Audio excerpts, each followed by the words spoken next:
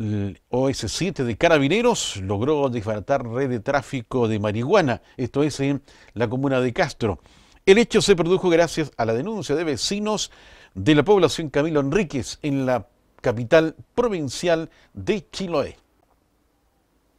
Efectivos de la OS7 de Carabineros de Puerto Montt lograron desbaratar una red de tráfico de cannabis activa en la comuna de Castro, más conocida como Marihuana, la cual operaba en calle Ruperto Triviño de ese sector poblacional. La información fue confirmada por el subprefecto de Carabineros de Castro, comandante Patricio Yáñez, quien explicó que el operativo se produjo luego de una serie de labores investigativas a cargo de la OS7 de la capital regional.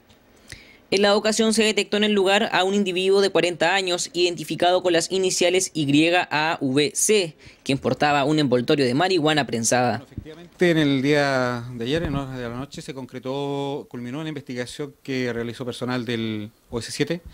eh, la cual decía relación con información del tráfico de drogas en la población Camilo Enríquez, específicamente en calle Roberto Triviño.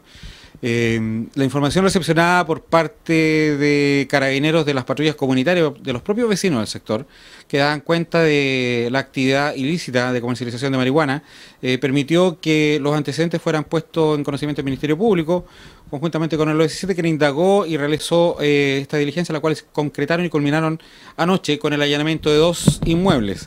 lográndose la incautación de aproximadamente 4.000 dosis, una cantidad importante, 4.000 dosis de marihuana de tipo prensada, la cual contiene tolueno dentro de su proceso de elaboración, eh, aproximadamente en gramaje 715 gramos,